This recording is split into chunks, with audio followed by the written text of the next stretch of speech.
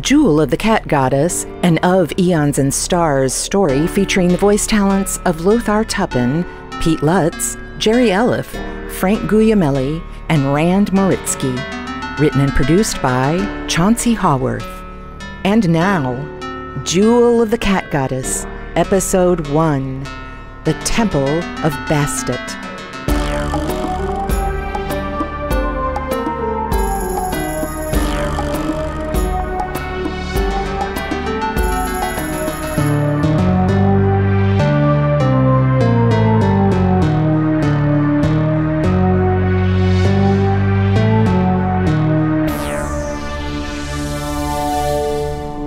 You familiar with the story of eons and stars? It's a story that spans time and space, a story that could start at any moment, a story that could start anywhere. For this mere modicum of the complete saga, we must travel to the future to hear a tale from the past. We join Professor Jonathan Whateley as he does what some old men do so well, and even more do so very poorly, and that is tell a story from his youth. Our venerable professor is at Ultima Verbi, the only bookstore left in Arkham, reading from his latest, and with any luck, the last book of his life, disappointingly titled Just Whateley.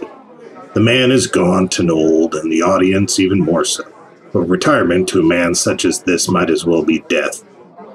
And nothing scares an old man who's looked death in the face more than the prospect of seeing it again. Welcome to Ultima Verbi, the last refuge of the written word in Arkham. Tonight's guest speaker is Professor Jonathan Whateley, renowned archaeologist, occultist, and philanthropist. While he may not need any introduction for those with knowledge of mystic lore, for the rest of you, the professor has been connected to many a story throughout the history of our area.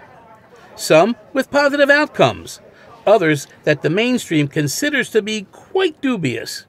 But to us, the learned in the ways of the real world, the professor is a hero. Discovering new truths and keeping us safe from the terrors of the beyond, without further ado, your raconteur for the evening, your fabulist of voracious fables, friend to Ultima Verbi, the last refuge of the written word, I give you Professor Jonathan Whateley.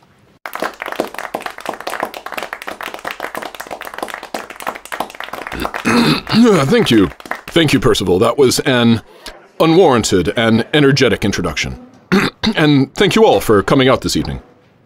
I will be signing copies of the book after the reading and answering questions if you are interested. One advantage of a small attendance is that it looks like I'll be able to sign all of your books. Hmm. Tonight I will be recanting The Jewel of the Cat Goddess, the fourth chapter in the book. Probably not verbatim, just a bit from the page and a bit from the old memory. I have lived a life of stoicism. Or so I have thought. My late friend, my best friend, Charles Caldecott Charters, ah, my dear Charles. Charles always told me that my own impression of myself was a lie. And I would like to believe him. The mere idea of sharing my stories with the world would have been a joke to me, but ever since Charles and before Charles, my sweet wife Nora, since they passed, it has been my goal to live life not just for myself, but for them as well. It's not that they want their stories told. I just assume they enjoy laughing at me from up there somewhere. Well, enough of this melancholia. Let us proceed with the adventure. There are many out there that blindly believe what I have written. There are even more that will logically deny it. But I assure you that I am the most honest man that has ever lived. And at the same time, the most depraved of liars. Somewhere between the top and the bottom of my words lies the truth of it all.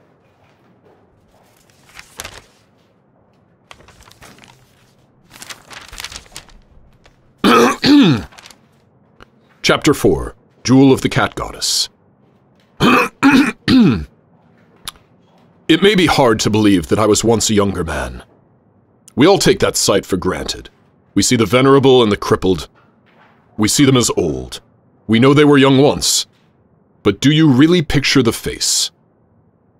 The story begins when I was fresher faced than I am now. My dear Nora was still alive, and Charles served us and our family well as my assistant, chauffeur, and overall adventure companion.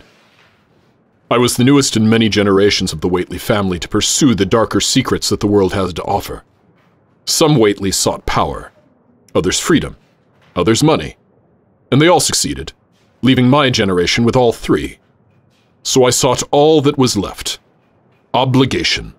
An obligation to my family name, and an obligation to my father's legacy. It was this obligation that led Charles and me on a quest to Egypt, deep into the western desert, to find a jewel, the jewel of the cat goddess Bastet. Many of my family's quests were generational. This one was no different. It started with my great-grandfather, first hearing the tales of the cat goddess's jewels that could restore vigor to even the most gravely wounded. Next, my grandfather learned to translate the hieroglyphics on scrolls and tablets to learn how and where to look. When age took my grandfather, my father combed the sands of northern Africa, looking for the way, and he found, found it in a map at the depths of an ancient tomb. He and the map made it home, but my father never recovered from the trip. So I was left with the map, the knowledge, the resources, and the duty. I was honor bound to my ancestors' vaingloriousness, an affliction I too had inherited. Charles and I landed in Cairo and prepared our party for the adventure ahead. First came the money, then the train. There's always a train involved if you're in the East. Then a caravan of camels.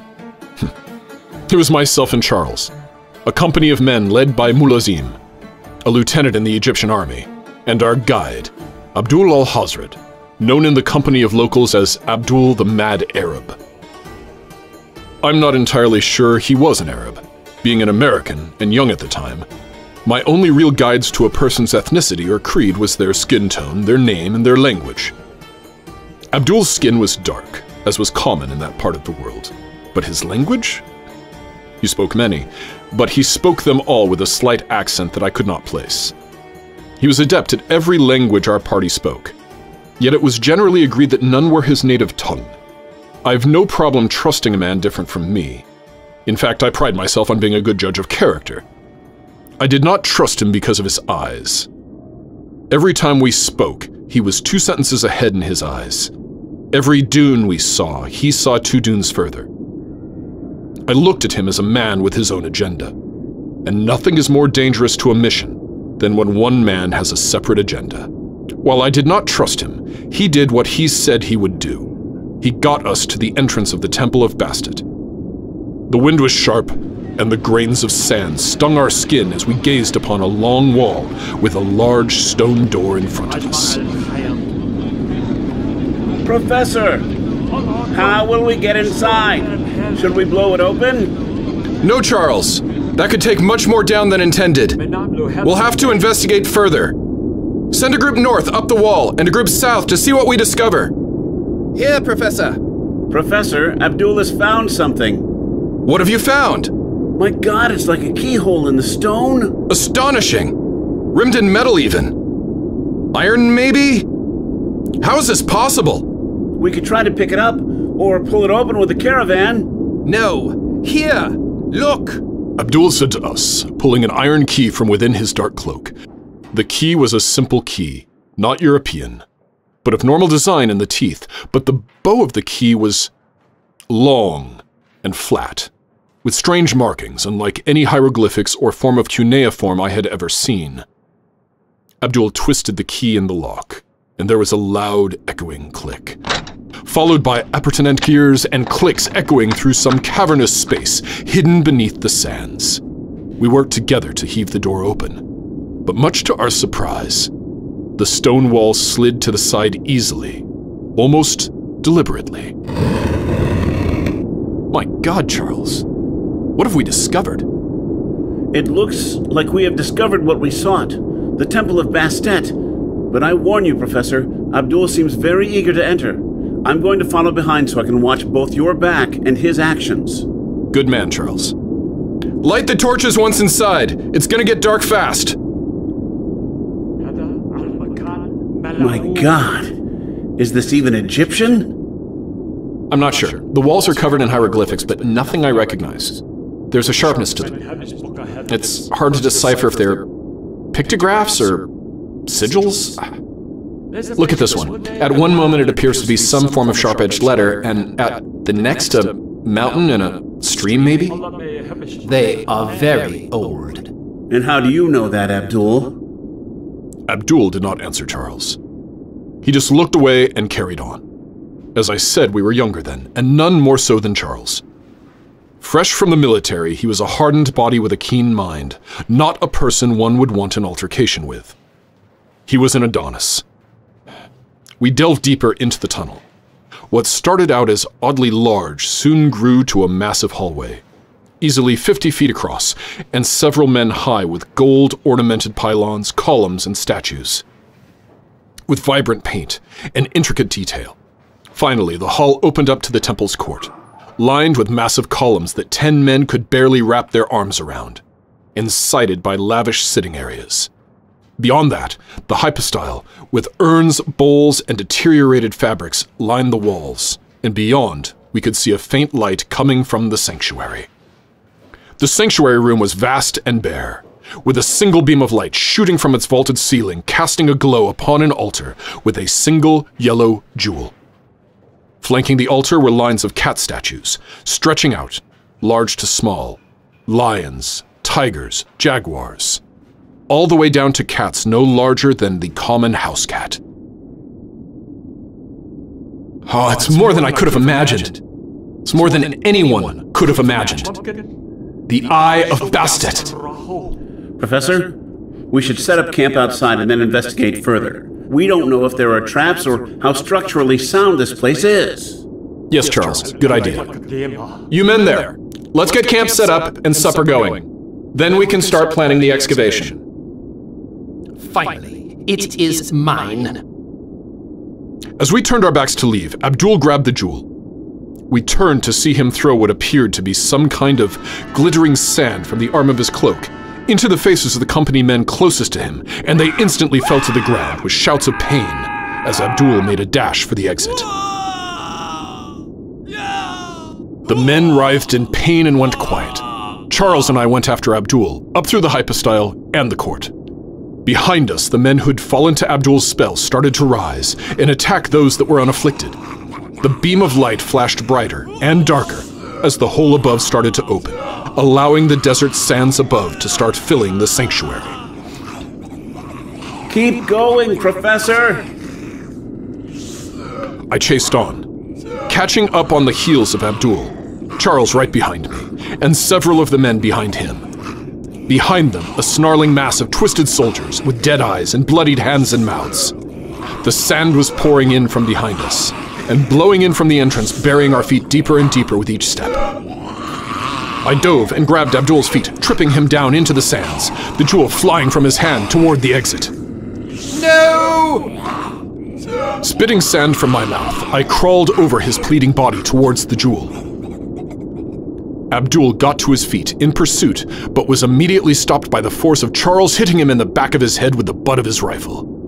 I tripped and crawled, trying to get to the quickly closing exit, when I felt Charles's titanium grip grasp my shirt collar and drag me out of that collapsing tunnel. Charles threw me into the sand by the caravan of camels and turned back to help whatever men he could, but it was too late. Their cries were abruptly silenced by the collapsing of the sands into the temple. It took three days of steady riding for us to return to the city. But little did we know that acquiring the jewel was not the quest. The quest to keep the jewel, and our lives, was just beginning. The meager crowd at the bookstore reading stared on in awe. Some believed, most did not, but all wanted our dear professor to continue. As the evening weather outside started to howl, of course, our hubristic and entitled professor obliged them. But for that, you'll have to return for the next episode of Jewel of the Cat Goddess as the professor and Charles fight to stay alive against the cult of Sekhmet.